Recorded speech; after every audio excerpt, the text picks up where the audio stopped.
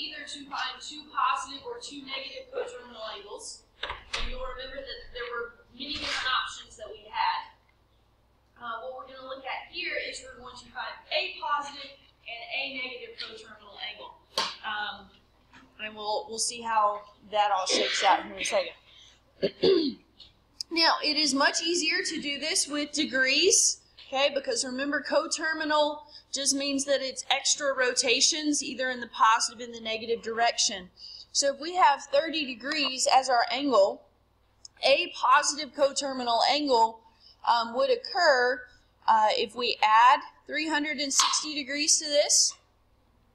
That'll give us positive 390. That is one positive coterminal angle. We could also add 360 again, and we could get another one, okay? But this is the closest one. Negative, we're going to subtract 330 from the original 30, so that would give us, what, negative 300?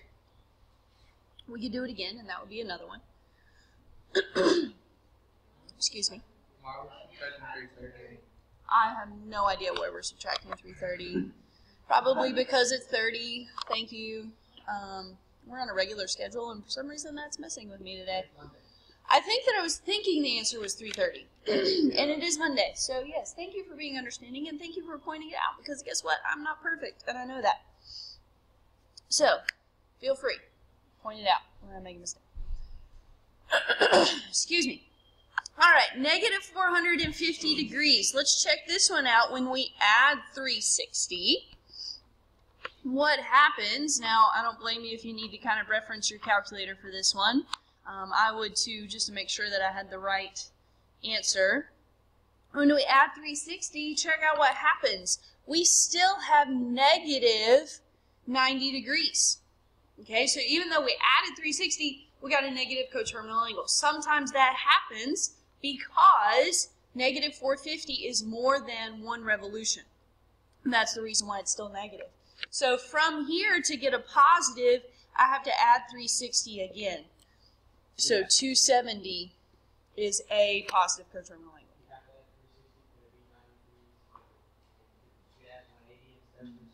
You always have to add 360. For coterminal, you always have to add 360. Yeah. okay. Um, now, you could also, if you're in the habit of subtracting for the negative coterminal angle, okay, um, negative 810 is also a negative coterminal angle. Okay. So if you really just want to have to subtract to get your negative, you could subtract that from the 450 to get negative 810. Both of those are still coterminal angles. Okay.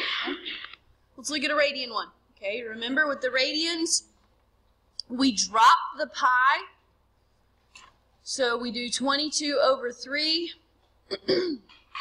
excuse me, and we add 2 for the positive. So 28 over 3, 28 pi over 3 is a positive coterminal angle.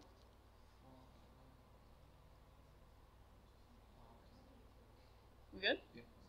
Okay. Now let's subtract 2 to find a negative coterminal angle.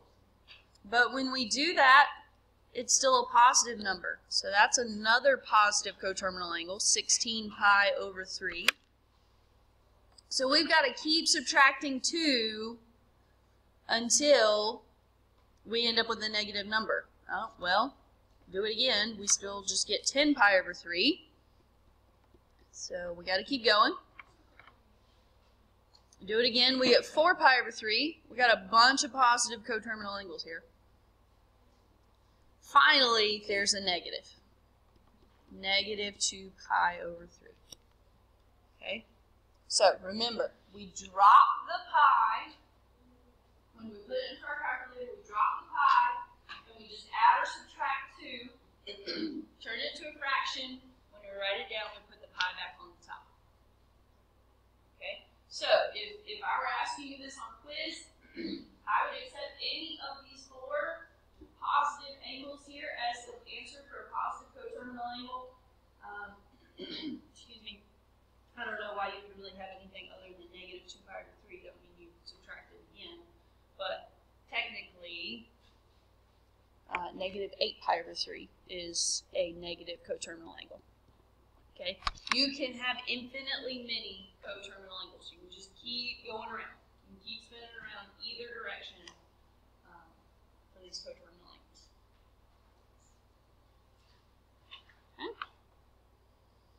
And, excuse me, let's look at a negative uh, radian. So for some reason, I always add first. I do positive coterminal angle.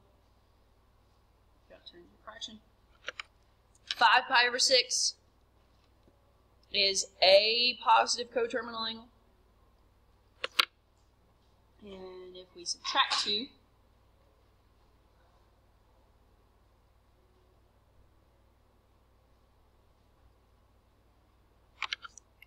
we get negative 19 pi over 6. Now, technically, when you're dealing with radians, you can convert to degrees, add or subtract 360, and then convert again, but that's just way more work than you have to do. I would rather you, you do understand that we're, technically we're adding and subtracting 2 pi. I just don't write it there because I don't want you to type it into your calculator. Because once you put that pi in there, it's going to multiply it out, and you're not going to be able to get it back in fractional form. okay. Um, all right. So since I want to get through the, the rest of these things, we'll practice here in a minute. But I want to go ahead and look at the next example. Go ahead and look at example three. State the quadrant in which the terminal side of each angle lies. Okay. Now, this is this is one of those simple things, but we need to know it for the next thing that we're going to do with reference angles. Okay. So um, degrees obviously are pretty easy. Most people um, can uh, figure those out pretty easily. If you label your axes with 90, 180, 270, and then 0 slash 360, it's pretty easy to figure out where these end up. Okay, so positive 95 degrees is obviously a reminder quadrants are counterclockwise. You start positive x, positive y is quadrant 1, and you go counterclockwise just like we measure our angles. So we've got 1, 2, 3, and 4. I use Roman numerals because that's how I learned how to do it, and I don't know, it's just kind of how most people in math do uh, number of the quadrants. I'm fine if you use the actual numbers. I'm not super nitpicky over that. Okay? So 95 degrees would be in the second quadrant.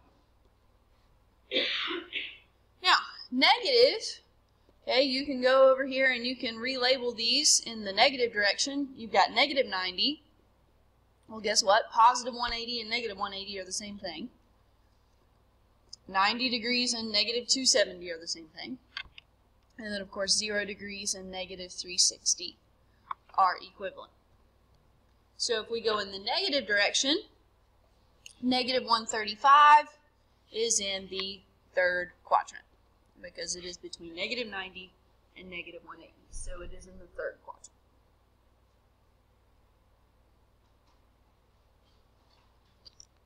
Now, radians is where people tend to struggle a little bit more, but let me try and explain this to you in an easy to understand way. All right. So, the way that I label with radians, obviously we have 0 to start with. Okay. Um, pi over 2 is 90 degrees. Pi is 180 degrees. 270 degrees is 3 pi over 2. Now, some people are good with fractions, some people not so good with fractions. Oh, I forgot 2 pi as well. So you may want to go back and say, well, pi over 2, that, that's like 0.5 pi, right? Um, of course, this is 1 pi. We just don't write the 1 in front of it. And 3 pi over 2 is like 1.5 pi. And the reason why I do that is because if I'm trying to figure out where 23 pi over 6 is, I think the easiest way to do that is to type 23 over 6 into your calculator. And it's 3.8. Okay, 3.83. So I've got to figure out where that lands in this whole scheme of things. Well, if I go all the way around, that's 2, right? If I land on my negative x-axis, that's 3.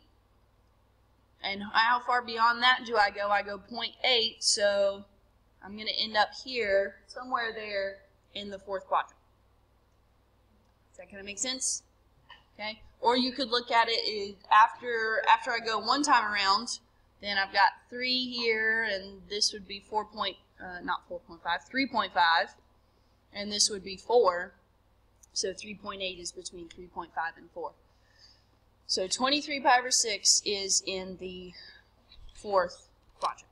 Now, you could convert that to degrees and locate it according to its degrees, but you need to be able to uh, navigate with the radians as well. Okay, so negative 5 pi over 3. I'm doing everything backwards today. Negative 5 over 3 is negative 1.667. So I could go in here and label this with my negatives. This would be negative 0.5. This would be negative 1 pi. This would be negative 1.5 pi.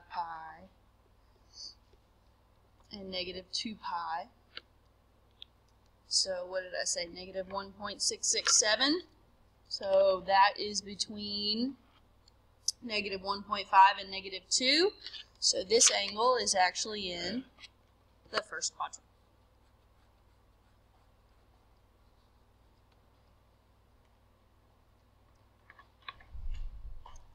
4 pi over 7. 4 over 7 is 0.57. So a little bit more than 0.5, but less than 1. So that means that is the second quadrant.